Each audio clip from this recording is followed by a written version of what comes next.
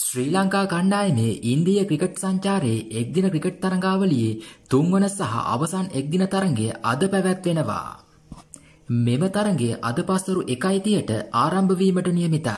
මේ අනුව අද තරඟයේදී ශ්‍රී ලංකා කණ්ඩායමේ මෙන්ම ඉන්දිය කණ්ඩායමේද එක් වෙනස්කම බැගින් සිදුවීමට බොහෝ සෙයින් ඉඩකඩ ඇති බවයි වාර්තා වන්නේ. මේ අනුව අද තරඟයේදී ශ්‍රී ලංකා කණ්ඩායමේ චරිත් අසලංක වෙනුවට පැතුම් නිශ්ශංක ක්‍රීඩා කිරීමේ වැඩි ඉඩකඩක් ඇතැයි වාර්තා වෙනවා. එසේම ඉන්දිය කණ්ඩායමේ කුල්දීප් යාදව් වෙනුවට යුස්වේන්ද්‍ර චහල් අද තරඟයට ක්‍රීඩා කිරීමේ වැඩි ඉඩකඩක් ඇති බවද වාර්තා වෙනවා.